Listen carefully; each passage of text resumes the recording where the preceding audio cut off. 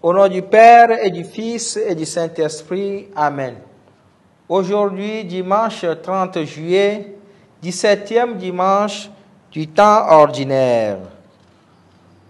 Ô Seigneur, envoie ton esprit et tout sera créé et tu renouvelleras la face de la terre.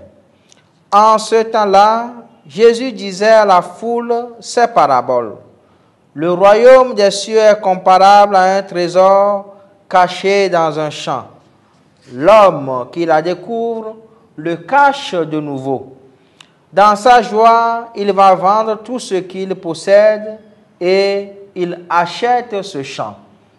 Ou encore, le royaume des cieux est comparable à un négociant qui recherche des perles fines.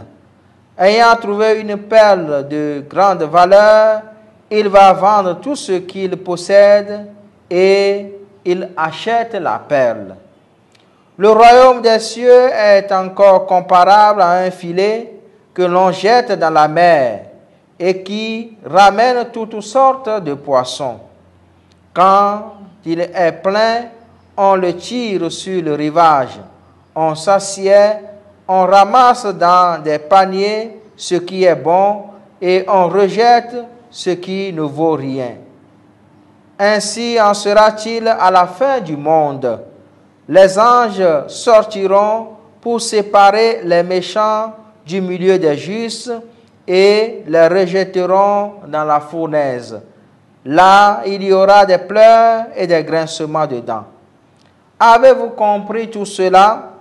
Ils lui répondent, oui. Jésus ajouta, c'est pourquoi tout scribe devenu disciple du royaume des cieux est comparable à un maître de maison qui tire de son trésor du neuf et de l'ancien. Acclamons la parole de Dieu. Louange à toi, Seigneur Jésus.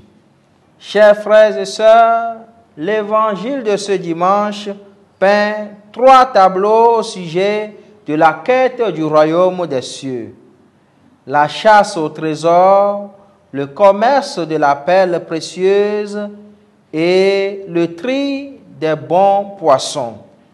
Dans les trois cas de figure, la révélation de Jésus consiste à nous faire comprendre que pour hériter du royaume des cieux, il faut investir, accepter le dépouillement et enfin reconstruire notre vie sur le roc que lui-même il est et que sa parole nous donne. Le trésor qu'on espère vaut presque le trésor qu'on a. Voilà pourquoi le désir de posséder de plus grands trésors exige l'investissement, le sacrifice et le service. C'est un risque qu'il faut prendre. Et ce risque, il vaut la peine donc de le prendre. Ce risque requiert du discernement et de la clairvoyance. Voilà pourquoi nous avons besoin de la lumière de la parole de Dieu et de l'assistance de l'Esprit Saint qui révèle à ceux qu'il aime la volonté de Dieu. Devenons les disciples de la parole de Dieu, retrouvons la joie de vivre dans le sacrement de la réconciliation ce sacrement qui nous aide à tirer du trésor de notre vie du neuf et de l'ancien. Car, chers frères et sœurs, la vie, notre propre vie, vaut un trésor. Protégeons-la. Au nom du Père et du Fils et du Saint-Esprit. Amen.